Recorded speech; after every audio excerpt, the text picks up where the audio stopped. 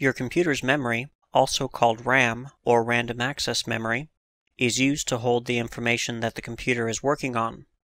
When you power the computer on, it reads all the information needed to start Windows from the hard disk into memory. Once Windows is loaded, the computer loads any programs or files you open from the hard drive into memory.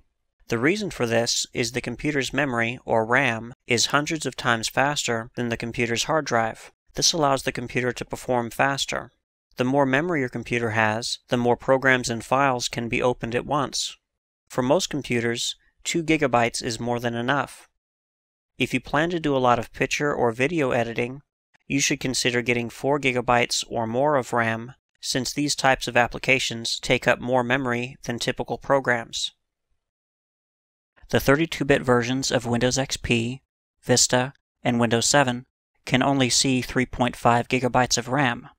The 32-bit versions of Windows will work in a system with more than 3.5 gigabytes of RAM, but you won't be able to use the extra memory. If you need to actually use more than 3.5 gigabytes of RAM, you will have to install the 64-bit version of Windows Vista or Windows 7. There is a 64-bit version of XP, but you should avoid using it. Windows XP 64 has a lot of compatibility issues with programs and hardware.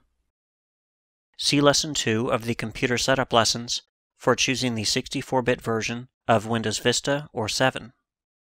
There are currently two types of RAM used in computers today. The older type, which has been around for five years and is the most prevalent, is called DDR2. The newest type, which is now going mainstream, is called DDR3. DDR3 is able to run at higher speeds and therefore higher bandwidths. We'll go into speed and bandwidth in a moment. Keep in mind that most motherboards support either DDR2 or DDR3, so make sure the motherboard you buy supports the type of DDR you'll be using.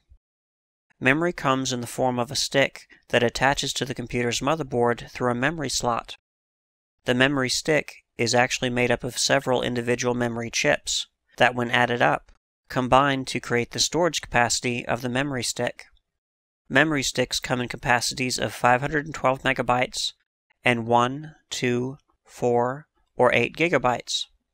For more on motherboards, see the motherboard component lesson or the installation lessons. The speed of the RAM is also important. The speed of memory is measured in megahertz, or MHz, and ranges from 400 MHz to 2000 MHz or 2 GHz and up. Generally, you should get the fastest RAM the motherboard you choose can handle. Another measurement of RAM speed is called CAS. It's measured in nanoseconds, or ns, and comes in speeds of 3 to 7 nanoseconds for DDR2 RAM and between 6 and 10 nanoseconds for DDR3 RAM. A lower CAS is better, but unless you're building a high-end system, it's probably not worth paying extra for the lower CAS.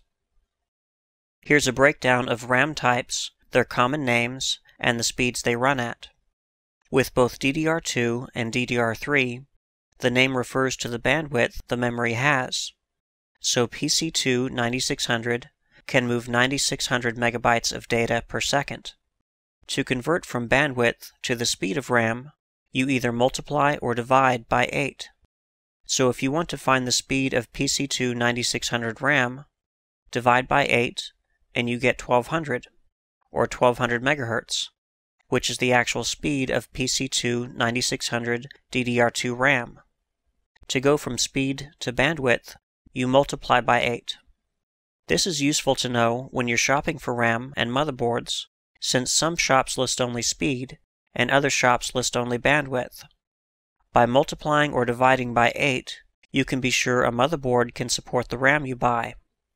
When you buy RAM for your new computer, we recommend getting two sticks of DDR2 or DDR3 memory, at least 1 GB in size with the same specifications, for a total of 2 GB. Since most motherboards have four available slots to add memory, you'll have two more slots available for adding memory in the future should you need to. The reason for using two sticks of memory is so that you can enable dual channel on the motherboard. Dual channel combines the two sticks of memory to double their bandwidth and increase the speed at which the RAM is accessed. Intel Socket 1366 motherboards support triple channel memory, which triples the memory bandwidth and requires three sticks of memory. More on this in a moment. Dual channel support is standard on just about every motherboard made today. The motherboard will detect the matched set of RAM sticks and enable dual channel automatically. See Installation Lesson 2 or your motherboard manual to make sure dual channel is enabled. If you want to add more memory in the future, you can add another set of matched memory sticks to keep dual channel active. Intel Socket 1366 Core i7 CPUs and motherboards with Socket 1366 can use the new triple channel DDR3 memory kits. These motherboards have 6 RAM slots, so you can install 3 RAM sticks and still have 3 more memory slots available to add memory in the future and keep triple channel enabled. One more thing about dual channel and triple channel memory.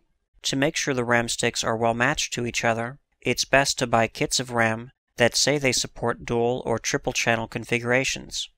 This will ensure the RAM is stable and won't cause errors or crashes. If you're planning to try overclocking the RAM, you might also look at the voltage rating of the RAM. Overclocking means running the RAM faster than it's meant to be run to get more performance. The standard voltage of DDR2 RAM is 1.8 volts, and you can find RAM that will run at up to 2.4 volts. The standard voltage for DDR3 RAM is 1.5 volts, and you can find RAM that will run at up to 2 volts. With Intel's Core i7 CPUs, the RAM voltage is limited to 1.65 volts. To overclock the RAM, you'll be increasing its speed using settings in the motherboard's BIOS, and upping the voltage of the RAM to keep the system stable and working. See the overclocking video lessons on the website for instructions on how to overclock your RAM. Keep in mind that overclocking the RAM will increase heat, so look for RAM with built-on heat sinks, also called heat spreaders, if you plan to overclock the RAM.